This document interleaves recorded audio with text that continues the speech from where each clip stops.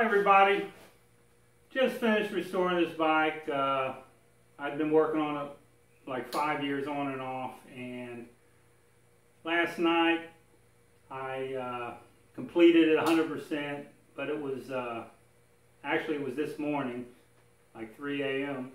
It was uh, a little too uh, early to start it. You know, I don't want to wake the neighbors up or whatever. So figured I'd, wait till uh, later on today and uh, take it outside out in the sun and you know start it up and for the very first time.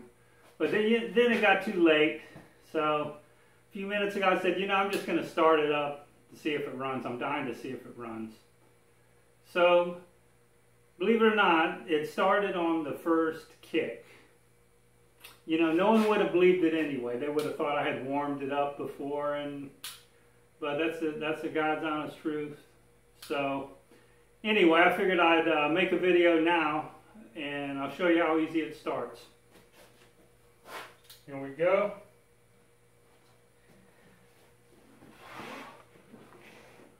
Gas on. Turn on the key.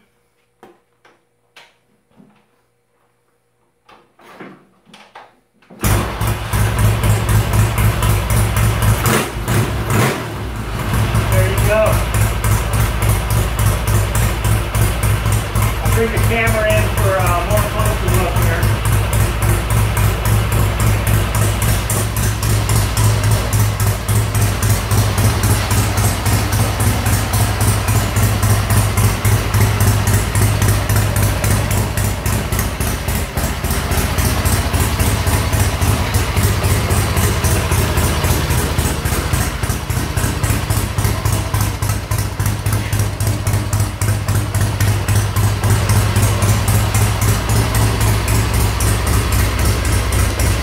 Okay, thank you very much and thanks for watching.